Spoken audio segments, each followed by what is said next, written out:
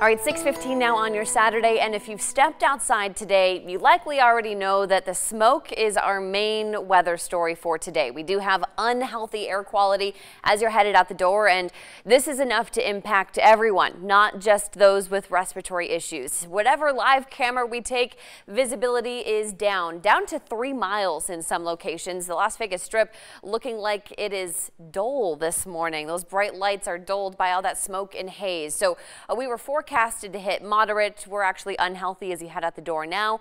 Forecast for moderate tomorrow, but we're going to be tracking that to see if any of the wind speeds picking up may push some of that haze out for tomorrow. But right now, plan on seeing some of that haze through our entire weekend. Low 80s for the local mountains. You're going to see that smoke and haze there as well. Gusts to 25 miles per hour picking up for tomorrow, closer to 20 on Monday. Clear skies, lots of sunshine as we get into early next week. Temperature is going to be in the low 80s and upper 70s as you're heading out the door now. 80 degrees near Boulder City. Right now it's 68 for Red Rock and a cool 62 degrees in Kyle Canyon. Now planning out your day today, we do see the haze, but smoky haze. We're looking at uh, 104 right around 1 uh, 4 p.m.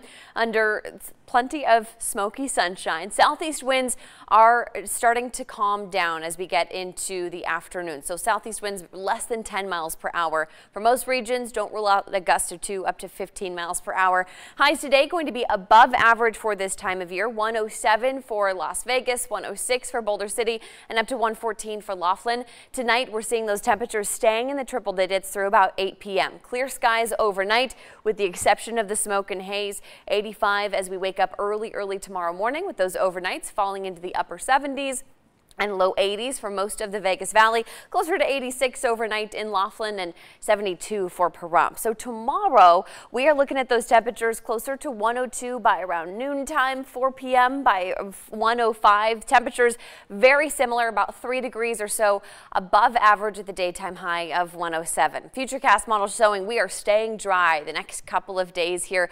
Lots of sunshine, but yeah, those wind speeds bringing those uh, that smoke coming in from Northern California Oregon right back down into our valley. So rain chances picking up as we get into early next week. Only about a 10% chance Tuesday through Thursday, possibly even through Friday.